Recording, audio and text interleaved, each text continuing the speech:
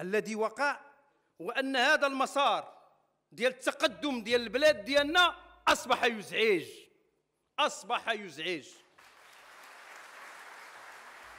هذا المسار الذي يظهر في السياسة كما في غيرها من المجالات تابع العالم جزءا منه في منافسات كأس العالم ديال قطر 2022 حيث حقق منتخبنا إنجازا تاريخيا بوصوله نصف النهاية وهو إنجاز كروي كبير.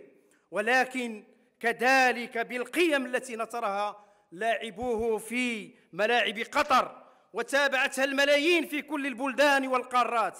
قيم الأسرة الجامعة قيم ابتغاء رضاء الخالق رضا الوالدين قيم السطح بالتوحيد رمزا وصوتا والانتصار لقضايا الأمة من خلال رفع علم فلسطين.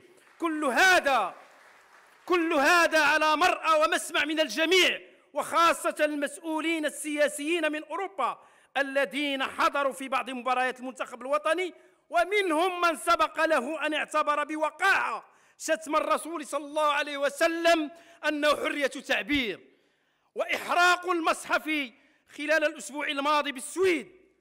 يعتبرون حرية تعبير كذلك. الذي ندينه بالمناسبة شد إدانة وهي مناسبة هي مناسبة من منطلق قناعات حزبنا الراسخة ومرجعيته الوطنية الثابتة في الدفاع عن سيادة ووحدة وهوية وطننا إدانتنا القوية لقرار البرلمان الأوروبي ورفضنا الجازم لكل الإملاءات الخارجية أيا كان مصدرها وتحت أي عنوان أو ذريعة كانت وفي أي موضع كان.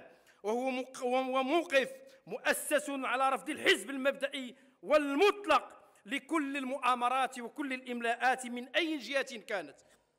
إن تعبيرنا إن تعبيرنا وتعبير حزبنا عن موقف الرافض والمدير لكل تدخل خارجي في الشؤون الداخلة لبلدنا هو موقف من موقع حزب وطني مسؤول ومستقل وفي موقع المعارضة كما كان في موقع المساهمة في الحكومة.